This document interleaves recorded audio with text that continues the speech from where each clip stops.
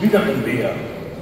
Dann einfach diese kleinen Elemente, ein Wasserrad zum Beispiel, das sich dreht. Oder ein Schiff. Und lass uns einfach mal auf das Schiff gehen und mal schauen, wie das Ganze dann so aussehen kann. Und diese Atmosphäre, die durch diese neuen Features möglich gemacht werden, die wollten wir für euch einfangen. Und wir sind selber total begeistert, dass das so funktioniert. Jetzt gehen wir mal kurz am Land entlang und schauen mal, wo uns der Fluss dann einfach begegnet. Denn wenn ein Fluss durch die ganze Location durch, sich durchzieht, dann gibt es natürlich ein Problem. Wie komme ich letztendlich an die andere Seite? Die simple Frage oder die simple Antwort dafür ist einfach eine Brücke. Aber wir wollten es nicht simpel machen. Wir wollten weitergehen. Wir wollten zeigen, hey, wir können es auch mit einer Fähre machen. Wir können ein dynamisches System setzen, das wieder Zug funktioniert. Wir fahren mit unserer Platte auf so eine Fähre und setzen über. Und das ist so das Neuere, wie man sowas bewältigt. Und wir sind selber sehr gespannt, wie gut es funktionieren wird. Also, äh, wir machen das auch zum ersten Mal. Und das ist natürlich, wenn da eine Flussbewegung ist und ein anderes Boot kommt, dann muss die Fähre stoppen. Man muss auch warten, bis die Fähre kommt. Wir werden sehen, wie sich das dann letztendlich Dann haben wir hier unsere kleinen Flüsse, unsere Bachläufe, die hier schon aus der Forest aus der Silbermann. Und die haben wir hier auch natürlich verwendet, weil wir aufeinander aufbauen. Jedes Feature, was in den Landwirtschaftssimulator reinkommt, ist verankert dann und wird Teil des Repertoires. Natürlich kleine Brücken, wo wir diese kleinen Bäche dann überwinden können. Man kann aber auch durch diese Bäche durchfahren, ja, damit sie äh, selbst nicht als Barrieren dann angesehen werden. Das würde das Gameplay nur unterbrechen. Aber hier eben auch so ein Rail Elevator, in dem man hin, äh, sein Rollen fahren kann, damit das Ganze eingebettet ist. Ja, damit man das Gefühl hat, dass der Fluss auch Teil des Spiels ist und nicht nur Staffage. Ich kenne nur die ganz alten Schlepper. Ja, ja, waren alle dran. Wenn ich mit was Fahrzeugen Wenn man war. Genau, das haben wir schon gesehen, die äh, Rodrails, die ich schaffte, die durch die Bäume. Ja, neue Bäume, das ist äh, weiter ja schon zelebriert worden. Ähm, das äh, krasse an den Bäumen ist in gewisser Weise, wir können jetzt von Baumarten sprechen. Früher waren es einfach nur Bäume. Das war ein stereotyper Baum. Wir hatten zwar auch schon verschiedene Baumarten drin, aber so haben wir sich nicht unterschieden. Und jetzt haben wir durchaus Erstmal muss dein Rechner also wieder richtige laufen. Ulme und in verschiedenen Stadien. Da sind schon die Spieler haben heim sich rumstehen und dann bald wieder. äh, äh. Sommerferien. Und die Kronen sind auch besonders wirklich gestaltet, damit sie dem Licht gut interagieren können, damit ähm, das Licht durchbrechen kann, muss man die Bäume, Baumkronen öffnen. Sodass, äh, so, sonst hätte man einfach nur ein Blätterwerk, das nur verhindert, dass Licht durchscheint. So haben wir auch die ganze Migration entsprechend neu gestaltet. Alles, was Ja, Sie im noch Landwirtschaftssimulator 25 sehen Doch, werden, da musst du ist lang überarbeitet. Selbst wenn es alte Modelle sind, weil wir auf alten Dingen aufbauen, eine Tradition auch haben in der Grafik, äh, versuchen wir die neuen, oder wenn Ja, gerade neue Bäume oder. Elemente oder Pflanzenstrukturen kommen, dann müssen natürlich die alten Sachen auf das Niveau angehoben Was ist werden. eigentlich der billigste Laptop? Ähm, scheinen sie deplatziert. 300 Euro, du kannst Ich habe euch hier einfach mal ein paar Bilder rausgesucht. Ähm, und das macht natürlich auch von den Fruchtsorten nicht kalt. Es kommen neue Fruchtsorten rein, wie zum Beispiel der Spinat. Aber deswegen müssen an so einem Punkt, wenn man mit einer neuen Technik da wird man rangeht, mit einer höheren Auflösung, plötzlich alle anderen Es wäre mal geil, wenn sie es so reinbringen, dass man sich auch selber Das versorgen werden muss. wir im Spiel sehen. Alle Fruchtsorten, alle Pflanzen haben eine höhere Auflösung. Doppelte Auflösung. Das sind viermal so viele Pixel, die, dann, die wir nutzen können, um euch ähm, ein entsprechendes ähm, aktualisiertes Bild von diesen Pflanzen zu geben. Hier mal wirklich eine rausgegriffen, ja, eine neue Pflanze, ähm, die dann natürlich auch einzeln zu setzen sein wird. Auch das Gras ist viel detaillierter und viel ähm, ja, ähm, hervorgehobener. Das äh, findet auch dadurch statt, dass der Schatten von Vegetation viel klarer und deutlicher ist und die einzelnen Graselemente voneinander trennt. Damit ist auch eine Bodeneinbettung viel besser gegeben. Wir haben die Pflanzen nicht nur auf dem Boden oder auf dem Feld, wir haben sie auch auf, Bäume, auf Gebäude gesetzt, damit auch ein bisschen äh, mal, die Kultur äh, etwas durchscheint. Ja? Willst so du leben wie ein Hippie, meine Blumen auf deinem Sonnenblumen als Event zelebriert, ja? die ein Silo mit solchen Blumen dann besetzt. Oh, ja Hier mal ein Screenshot, der alles zusammen sagt. Und seht ja dann schon, es geht darum, viele sagen, es ist, schaut realer aus. Nimm mal eine Flasche weg. Ich bin da immer ein bisschen vorsichtig. Es geht nicht um Realität. Es geht um Emotion. Meine. Was wir jetzt machen können, ist eine emotionale Gestaltung unserer Landschaft. Und das mag man auch als realistischer ansehen, weil wenn wir in einen Sonnenuntergang schauen, der mit äh, Violett bis Gelbtönen sich äh, den Himmel einfärbt und die Wolken einfärbt, dann sitzen wir staunend davor und denken, das kann ja gar nicht real sein. Das ist so übersättigt oft einmal, was Natur bieten kann, dass wir äh, daran erstmal hinkommen müssen. Und da, da ist der Zugang für mich durch die Emotion. Und das geht über die Features, die wir haben, durch den Nebel, durch die äh, verschiedenen, durch die Komplexität der Vegetation. Hier auch mal ein Screenshot, den, man muss ganz ehrlich dazu sagen, den ihr so nicht im Spiel finden könnt, weil ich hier mit der Kamera direkt auf den Boden gegangen bin. Und das muss man sich erstmal trauen. Weil im Allgemeinen, wenn man eben nicht so viele Möglichkeiten hat, dann wahrt man etwas Distanz und Abstand. Ähm, aber wir können mittlerweile richtig nah rangehen an unsere Sachen. Und uns nicht scheuen, genau diese Distanz oder diese Nähe zu suchen zu unseren gestalterischen Objekten. Das mit den Bodentexturen wurde vorher schon genau ähm, beschrieben. Und es führt tatsächlich zu einer Kuriosität, dass wenn ich im Level diese äh, kleinen Bleche einrichte, selbst nicht mehr sehen kann, wo ist die Kante zwischen dem Terrain und meinem Modell. Und sehr genau schauen muss, richtig mit der Lupe, wo muss ich eigentlich meinen Übergang anmalen? Wo, wo ist eigentlich genau die Textur, die ich beeinflussen kann, weil ich selbst nicht mehr wahrnehmen kann. So detailliert ist das Ganze. Und das zeige ich euch jetzt mal hier in einem ganz kurzen Bereich, wo wir einen Wald generiert haben. Lass uns einfach mal da kurz durchgehen. Und da sieht man eben, dass die Bäume jetzt richtig Rentenstruktur haben. Dass eben die Komplexität, die äh, es einem erlaubt, äh, die Bäume zum einen sehr eng zu setzen, als auch, da sie asymmetrisch sieht so gut Licht sind, nicht also nicht einfach nur ein Block als eine Krone haben, wir viele, viele Möglichkeiten haben, das Ganze zu arrangieren. Das hat aber auch einen Fluch, der sich hinterherzieht. Dadurch, dass die Bäume jetzt so individuell wirken, merkt man auch, wenn man aus Versehen einfach nur einen Baum identisch zwei Meter weiter kopiert hat und in derselben Ausrichtung dort sitzt. Plötzlich merkt man das. Früher hat man das nicht gemerkt. Jetzt gehen wir in eine höhere Kategorie von Gestaltung, wo wir genau diese Fehler haben, dass ein Copy-Paste plötzlich Kann auffällt. ich? Das macht viel mehr Arbeit auf eine gewisse Art und Weise, aber es ist es eben wert, weil endlich siehst du dann auf dein Endbild und sagst, ja, die zwei Stunden haben sich richtig gelohnt, das hat richtig Spaß gemacht.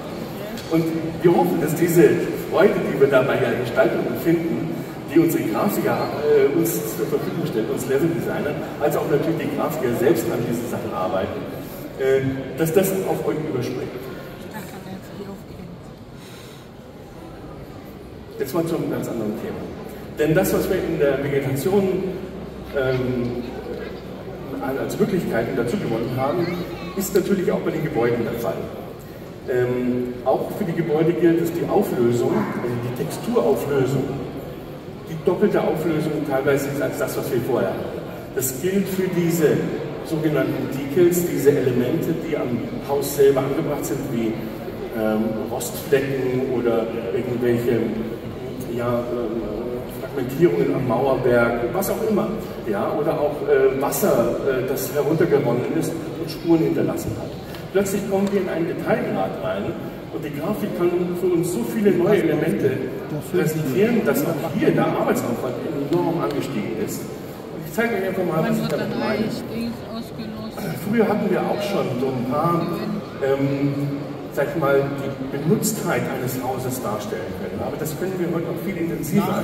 Wir müssen dabei aufpassen, dass wir es nicht zu übertreiben, weil sonst sieht das Haus halt einfach abgeranzt aus. Zu alt. Äh, das ist eigentlich heruntergekommen aus. Also man muss ganz subtil diese Elemente einsetzen, so dass man merkt, ja, da ist Leben, das, das ist eingebettet, das ist benutzt, da ist Wetter, das Ja, äh, der Hauswand widerspiegelt. Aber es muss immer noch eine, Ja, äh, eine angenehme ähm, Benutztheit darstellen. Da, da, da, da. Wir haben noch nicht mehr 16 Uhr. Aber auch in der Komplexität und Weitläufigkeit unserer Gebäude. Früher hatten wir oft einmal so diese, dass wir alles sehr kompakt gehalten haben. Hier ist es der ähm, ähm, Animal Trader, der eben eigentlich eine, der ist zwar relativ klein, wenn man einen großen Betrieb, äh, kann der sich über mehrere hundert Meter erstrecken, aber eben gerade in der Komplex- Komplexität und der Verschachteltheit wollten wir eben so neuen, ein neues Flair bieten. Haben dazu eben auch die Tiere zeigen. Das ist auch etwas Neues, was wir jetzt machen, was auf den Modmaps auch schon öfters gemacht wurde und uns auch immer inspiriert hat, ähm, dass ja so ein Betrieb nicht einfach nur ein äh, leerer Kasten ist, sondern dass man eben Gehege hat, äh, wo die Tiere auch ihren Auslauf haben.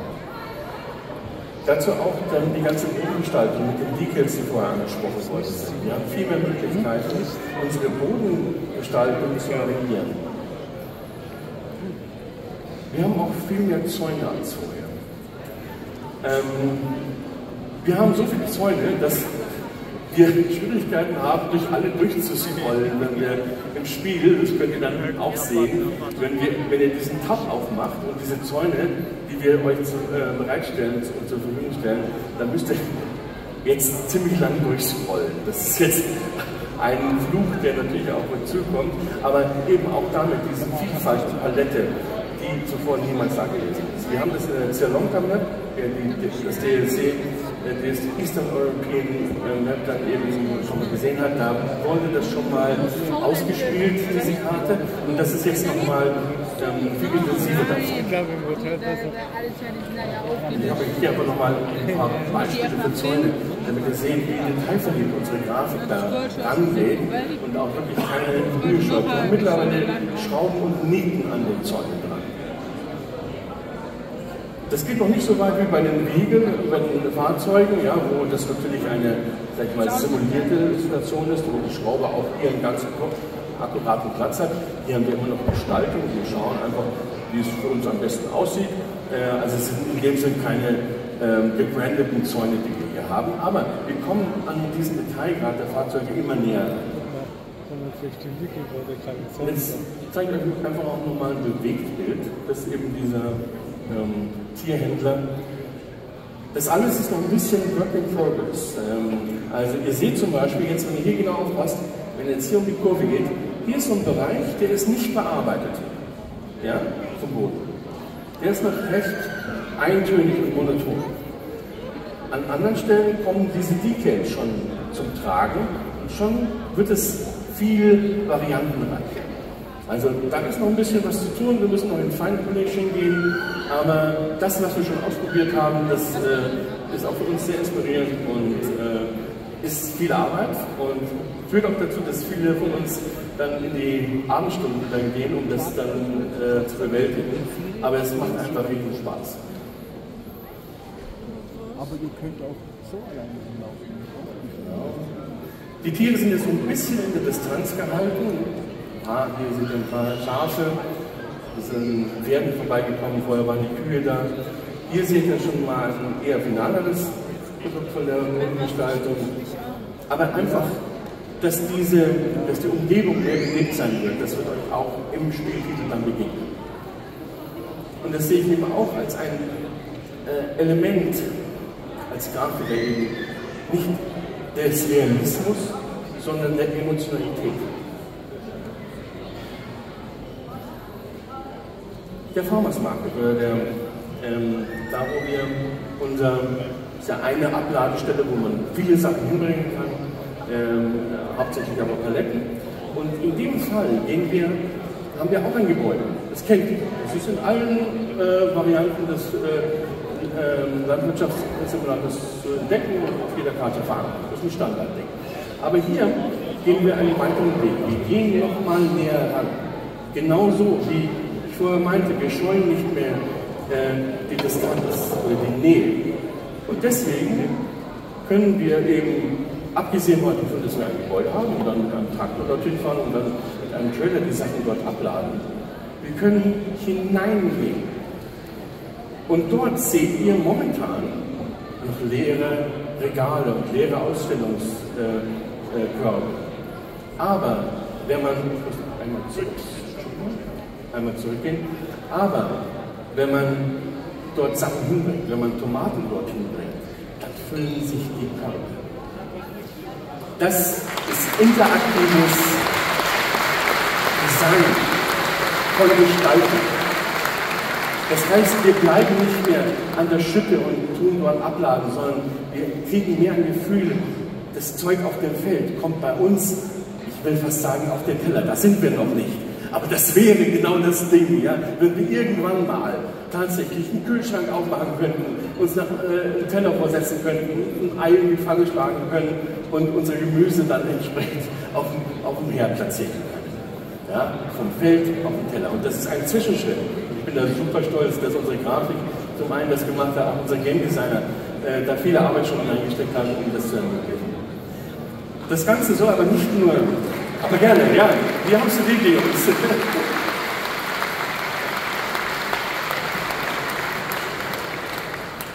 Aber das war uns noch nicht genug. Denn der Farmers Market ist eben wie so ein großes Industriegebäude, egal wie man es definiert visuell, ja, aber es ist sozusagen auch noch immer eine Distanz weit entfernt. Wir wollten noch kleiner gehen, kleinteiliger gehen. Man kann auch einen Stand für sich definieren, auf seinem Hof, wie es auf vielen Höfen der Fall ist, und dort eben seinen eigenen kleinen Farmers Market aufbauen und dort eben seine Paletten hinliefern und dort füllen sich die Körbe. Und das wird ein automatisches passives Einkommen sein, das dann zusätzlich generiert wird, ähnlich wie es mit den Solaranlagen ist. Und dadurch hat man auch, ist es noch näher und noch greifbarer für die Spieler. Und warte noch einen Moment ab. Und jetzt haben wir gesagt, na gut, wenn wir das nur für den Farmersmarkt machen, dann ist es ja auch ein bisschen isoliert und gekapselt, oder? Wir können das doch für alle Produktionsstellen machen. Wir können eine kleine Schreinerei aufbauen, wir können eine kleine Käserei aufbauen und so weiter und so fort. Und das ist der eigentliche, das eigentliche Novum, dass wir diese Großgebäude, die wir als Fabriken und und Großanlagen haben, dass wir das jetzt alles im Kleinen auch noch darstellen können. Das Kleine und das Große, Makrokosmos und Mikrokosmos.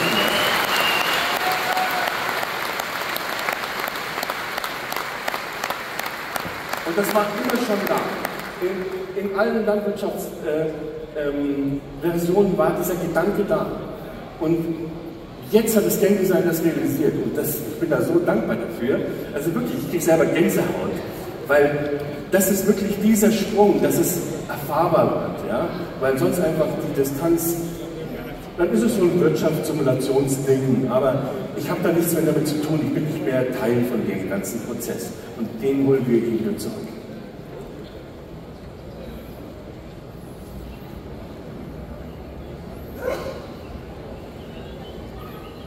Und dazu wird es auch nochmal, bestimmt nochmal ein extra äh, äh, technisches Tutorial geben. Hier einfach nur der Vergleich von dem Kleinen zum Großen. Ähm, ist nicht ganz akkurat, weil das ist einfach ein, äh, eine Abladestelle, wo, wo man Korn dann eben umladen kann. Aber es ist jetzt in dem Sinne keine Mühle, aber wie das Kleine eigentlich gezeigt hat. Aber das soll einfach nur das, äh, dieses Thema Groß und Klein euch äh, vor Augen führen.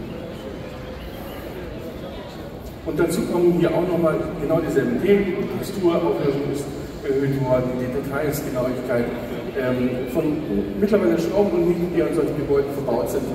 Ähm, das ist ja etwas, wo man gar keine Aufmerksamkeit drauf legen soll. Ja? Äh, wenn ich jetzt hier so ausstelle, es wird ja euch im Spiel dann ganz unmerklich begleiten. Aber dieses, dieser Detailreichtum, der ja auch in der Distanz kaum sichtbar ist, aber wenn ihr eben dann kurz dran vorbeizieht, dann plötzlich merkt ihr, dass diese Objekte euch diese Nähe auch gestatten und dass ihr euch nicht quasi so abwenden müsst, ja, sondern ihr könnt genau darauf hinschauen und könnt dieses Detail genießen. Das wird dann ganz selbstverständlich sein, wie eine Art Filmmusik sozusagen, die ganz unmerklich im Hintergrund da ist, aber die auch das Gefühl geben soll, dass das alles viel nahbarer ist.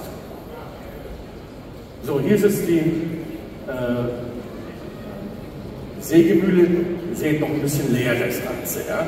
Das wird so nicht euch, euch dann präsentiert werden. Ja? Aber wir haben es einfach mal mit reingenommen, äh, dass ihr euch sicher sein könnt, ja, es gibt auch Holzverarbeitungen, die wir auch entsprechend unterstützen, so wie wir es in der Silver Run Forest gemacht haben.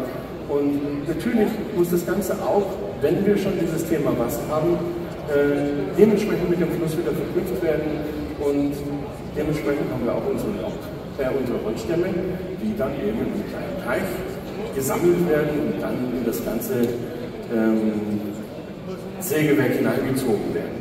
Hier ist alles noch statisch und unanimiert.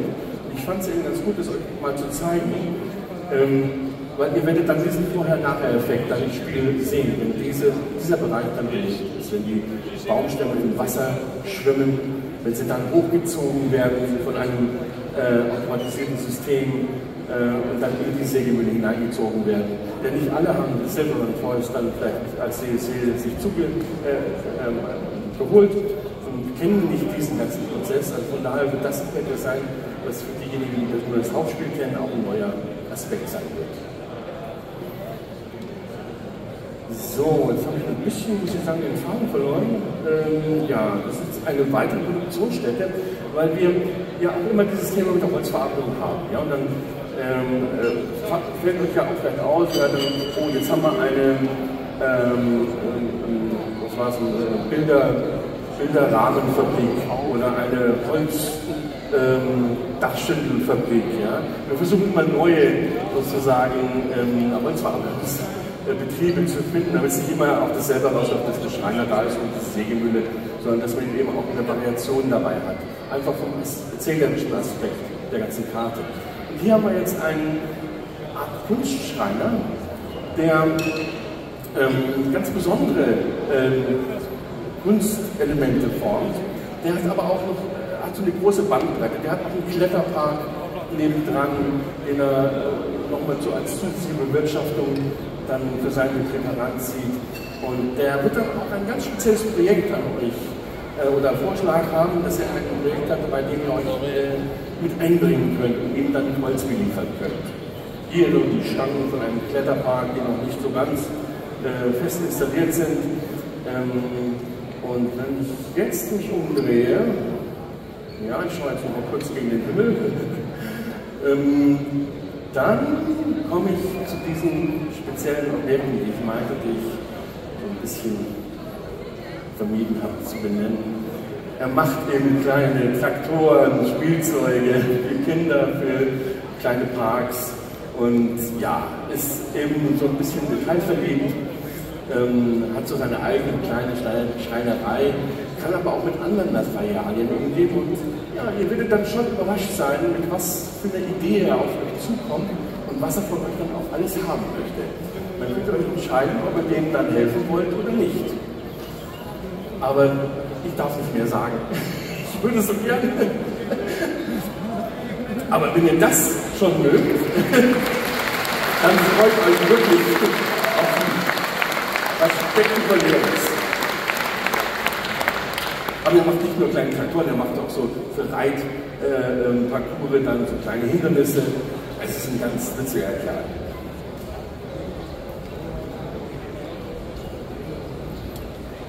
Da übrigens auch nochmal die Holzzäune in dem Fall. Also es sind über 100 Zäune, die ihr verwenden könnt. ähm, ist nicht ganz akkurat, es sind nicht 100 Zäune nur für die amerikanische Map, es, sind, es ist ein Konglomerat aus auch alten Zäunen, Zäunen von der Zelonka Map, als auch Zäune von amerikanischem, äh, amerikanischem Design, als auch asiatischem.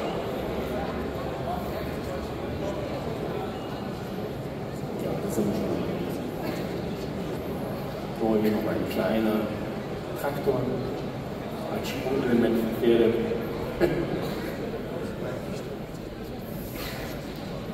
So, ja, aufgrund dessen, dass der so eine kleine, ja, verschrobene kleine Werkstatt hatte, so einen kleinen Holzbau, so eine Hütte, die er dann nochmal äh, sich äh, zurechtgebaut hat, ähm, wollte ich euch noch ein paar Gebäude zeigen, die wir auf der Karte aufgebaut haben. Gerade die erste amerikanische Karte hat ein, ein wunderschönes Flair ähm, von Vintage-Gebäuden, von alten Gebäuden ähm, aus verschiedenen Zeitepochen.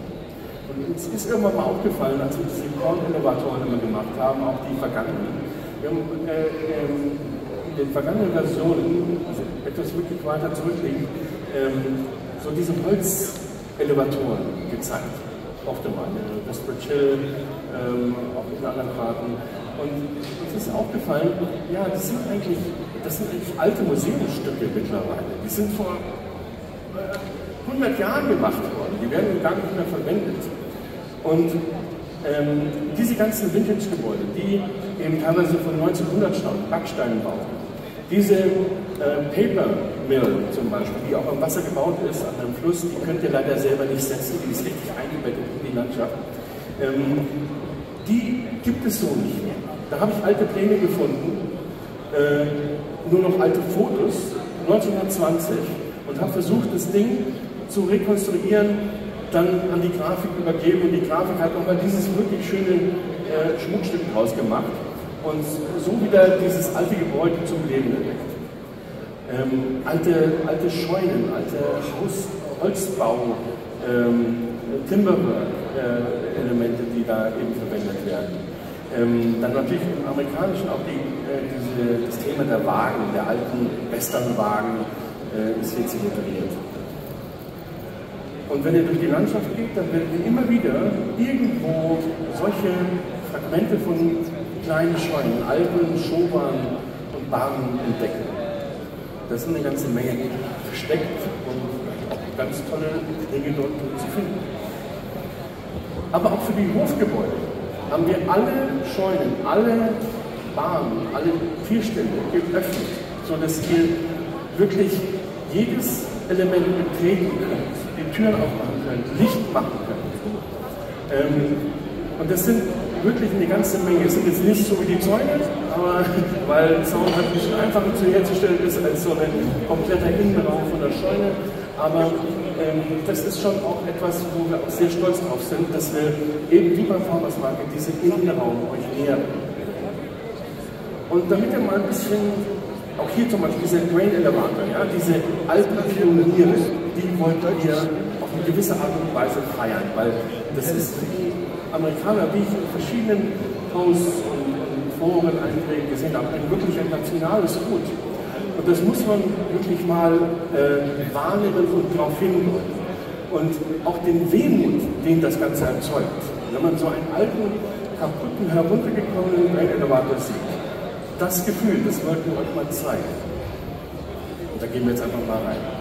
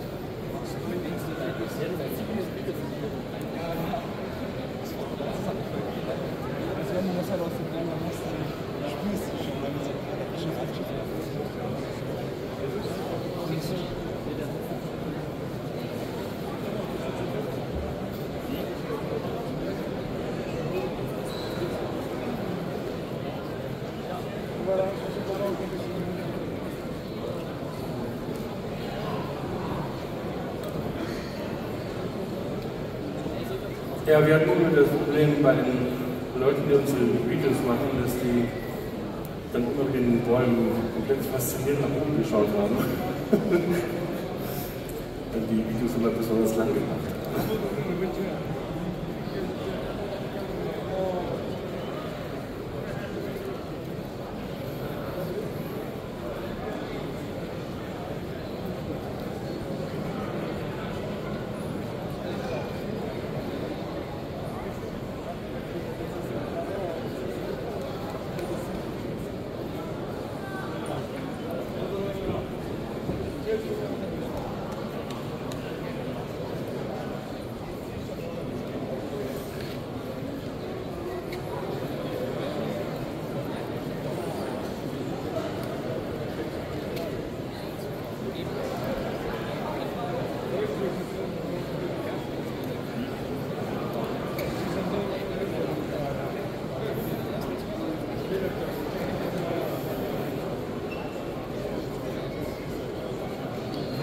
Genau, da habe ich mir jetzt sehr zurückhalten müssen, um irgendwas noch reinzusammeln, aber ich wollte immer mal das Gefühl geben, wenn ihr einfach mal diese Landschaft erkunden könnt und da gibt es noch viel mehr Ecken, wenn ihr das Ding dann mal richtig vor euch habt und äh, auf den 2x2 Kilometern in jeden Winkel hineinstöbern könnt. Das sieht ja Und ja, dann würde ich einfach mal sagen, lasst uns die Karte betrachten und Erinnerungen